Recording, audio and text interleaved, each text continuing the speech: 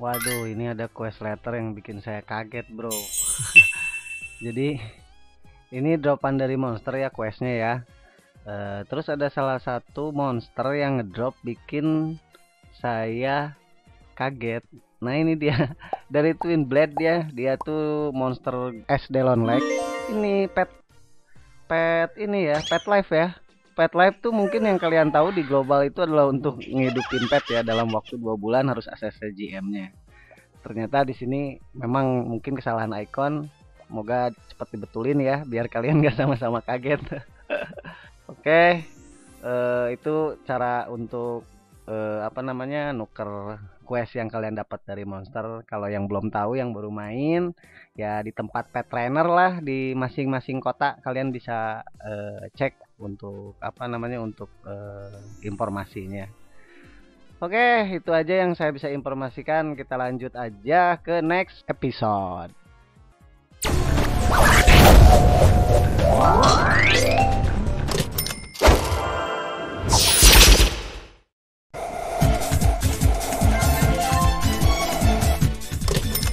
Halo Stilovers Indo RPG kita ketemu lagi di channelnya Simuni Jangan lupa kalian subscribe dan like-nya jika memang video ini sangat bermanfaat buat teman-teman semua ya. Buat player baru juga jangan lupa kalian tetap uh, ikuti event-event yang ada setiap hari Selasa, Jumat, dan Minggu yang saya pegang ya. Dan kebenaran ini ada surprise event yang memang khusus untuk teman-teman yang lagi online di malam tahun baru. Jadi sebelum uh, jam 12 malam kita adain acara ini dari pukul 9 sampai pukul 11 malam ya. Ini mendatangkan monster kembali di tiga kota rata-rata servis, jahit dan uh, elim ya. Nah, di sini ada beberapa monster yang bisa kalian kill dan yang jelas monster itu drop untuk permata dan batuan tempat yang jelas agak langka ya. Jadi teman-teman bisa menghemat kalau mau yang senang nempa kalian harus ikutin wajib event ini. Cuman maaf kita tidak informasikan langsung di Discord untuk seperti broadcast pada umumnya event-event biasa. Karena ini namanya adalah event kejutan ya khusus di hari-hari besar ataupun hari raya kita pasti adakan kembali event seperti ini. Cuman mohon maaf memang untuk uh, monster attack ini uh, untuk uh, monsternya memang kita belum fix di sini karena terlalu tingginya ASPD dan juga eh, terlalu tinggi ya untuk damage-nya. Padahal ini dimaksudkan untuk grade C dan D ini di Momo dan Steve Force itu juga Windy adalah untuk level di bawah 150. Tapi realitanya ya level 200 saja bisa mati ya untuk untuk menyerang Steve Force. Nah, tapi e, untuk sa saat ini ya ini bisa mengobati teman-teman yang kesulitan mendapatkan permata. Jadi event ini kalian coba manfaatkan aja buat kalian kumpulkan permata tersebut untuk ditempa buat armor dan equipment ya. Ya, walaupun sederhana tapi ya cukup mengasihkan. Ternyata banyak teman-teman juga yang online ya. Ada yang terlambat, ada yang memang equipnya dia lupa pakai, disangkanya monsternya lembut gitu loh. itu beberapa kekonyolan yang memang menurut saya ya memang masih belum final ya ataupun belum benar betul untuk uh, sistem status dari monsternya. Ini ya saya coba kembali ke kota Jain. Sudah ada beberapa teman-teman yang udah nunggu saya coba spawn lagi nih. Ya untuk kelas GMC saya tinggal klik doang untuk pindah-pindah lokasi ya tapi pindah map tetap sama seperti kalian nah spawnnya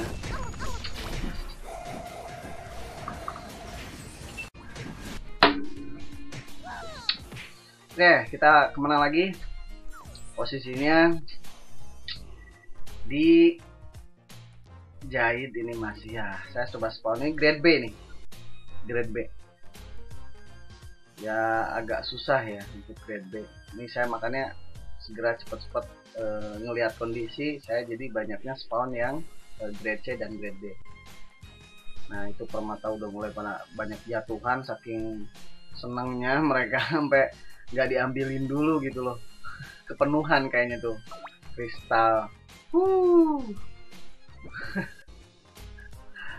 Okay. Jangan lupa juga abis sesi ini itu ada sesi susulan dari eventnya tahun baru ini yaitu untuk screenshot ya di kota 5 nanti harus pakai baju Korea. Jadi teman-teman nanti ke depannya ya siap-siap aja mendengar arahan dalam permainan ya bisa. Biasanya saya broadcast itu sore hari dan uh, malam hari sebelum jadwal event. Oke nah ini kebetulan ada polintir buat ngetes grade B ya.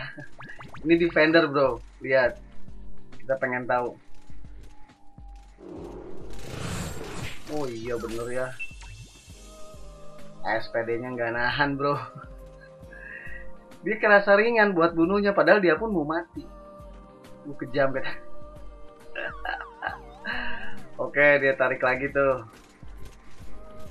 Tetes. Royal Guardian ini. Wih Ruby. Waduh. Oke kita tanya. Dia pasti status uh, defender tinggi. Uh dikit ah, lagi mati. Wah defender aja udah hampir mati bro. Jahat. Salahin orang IT ya. Nanti saya komplainin ya. Saya bikin record juga ini buat saya tampilin lagi di uh, YouTube biar teman-teman staff yang lain juga bisa lihat. Jadi otomatis statusnya kita perbaiki. Oh dia DCM DC Messenger. Oh iya. Berarti ini ada filenya yang rusak. Jadi kalian kalau untuk masalah gamenya yang pada saat kalian mainkan ada yang nggak berfungsi sebagian dia file untuk buka party itu nggak bisa. Jadi e, menu pilihannya di frame itu dia nggak bisa. Dan dia punya tiga laptop dicobain semua katanya nggak ada yang jalan untuk format partinya ya itu sebenarnya kita bisa kalinya sebenarnya tinggal delete aja folder gamenya kemudian diekstrak ulang dan file game guardnya kalian copy untuk yang terbaru ditumpuk gitu loh. Habis itu baru kalian eh, jalankan auto update nya setelah buang version ini ya. Jadi dia otomatis nggak update ulang biar nanti bersih. Soalnya kadang-kadang pada saat download error itu biasanya dari jaringan kita sendiri pun nggak bagus. Gitu dia nggak perfect ya. Oke kita cek lagi. Ini posisinya MK2 nih. Ini grade A. Ini grade A ini akan uh, akan jadi susah banget sebenarnya. Kebenaran teman-teman yang online pun nggak semua ada untuk para sultannya. Jadi ya ini rezeki teman-teman aja yang jomblo kayaknya yang nggak ada kerjaan di malam eh di apa di malam tahun baru kita kongko bareng bro. Sini dia. Oke. Okay. oh jangan rebutan katanya. Nah lo nah ini kita tester nih. Ini level 150an dia kuat nggak ya lawan Windy? Nah, ini Angry Windy ini sebenarnya grade grade C. Harusnya mereka kuat. Nah kalau dikeroyok tetap mati. Nggak kuat wah Weh, kan? Sorry bro. Nanti kita perbaiki. Iya, rebutan malah.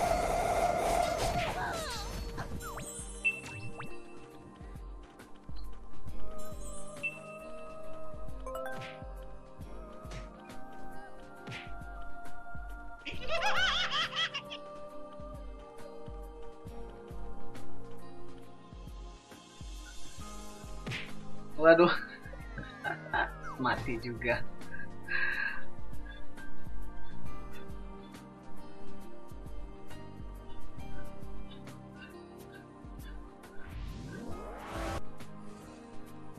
Oke, kita tester lagi. Ini posisinya adalah warrior di level 150-an ya sepertinya ya.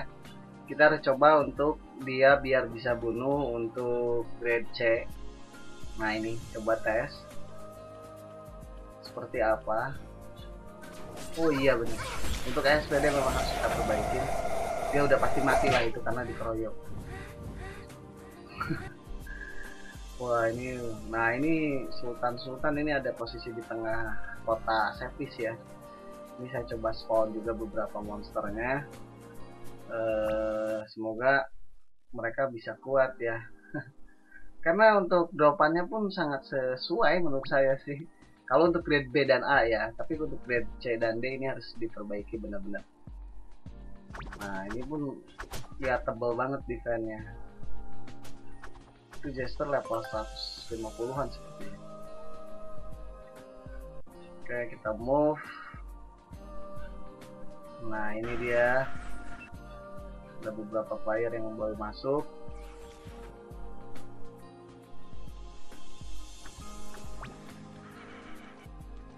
oke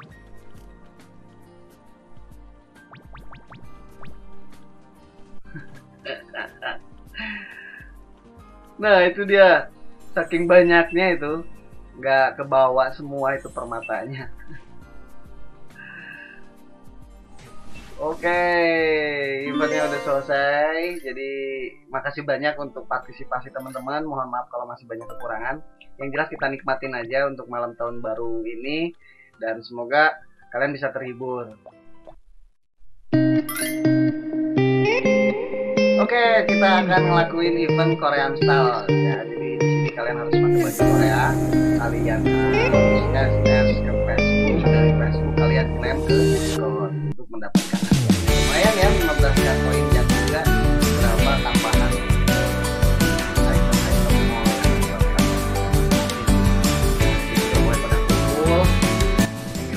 seru ya di sini walaupun nggak maksimal ya dari teman-teman yang online mungkin mereka punya kebutuhan yang lain tapi makasih banyak. Dan jangan lupa kalian juga tetap eh, ikutin event-event selanjutnya. Itu akan banyak sekali event-event bagus. Yang jelas sih eh, kalian akan terhibur banget eh, akan terhibur.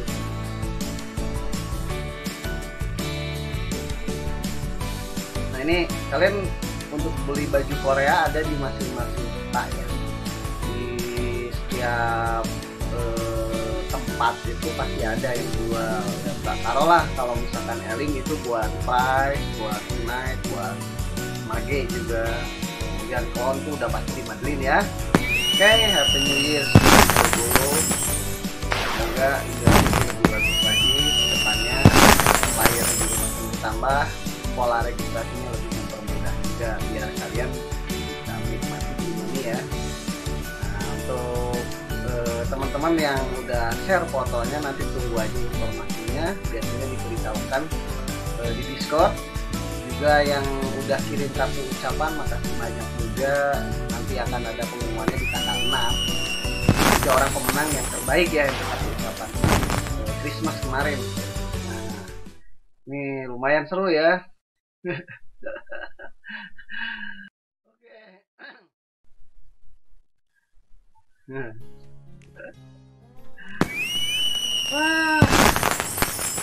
Tidur. Report.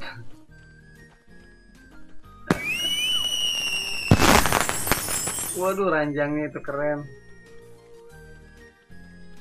Wah, seru, seru, seru, seru. Ya, walaupun agak ini ya, agak berapa ya. Ini masih banyak teman-teman yang belum tahu. Sayang banget kalian yang nggak nggak ikut event malam tahun baru. Di sini eh, pasti nggak lama ini bakal banyak yang jual batu bro. Oke, oh iya buat price itu di itu bro, di, di Elim. Oke ini fotonya nggak perlu sama saya sebenarnya. Yang penting kalian rame-rame seru-seruan jadi feel pada saat foto kalian screenshot itu dapat. Oh ini lagi malam tahun baru loh di uh, Silido RPG. Oke, thanks for watching the end of this episode. Jangan kalian tetap terus dan ikuti terus event-event selanjutnya karena akan banyak yang Terima kasih atas waktunya dan terima kasih untuk seluruh player RPG kalian sukses. Semoga menikmati gamesnya dan terus semangat. Bye bye.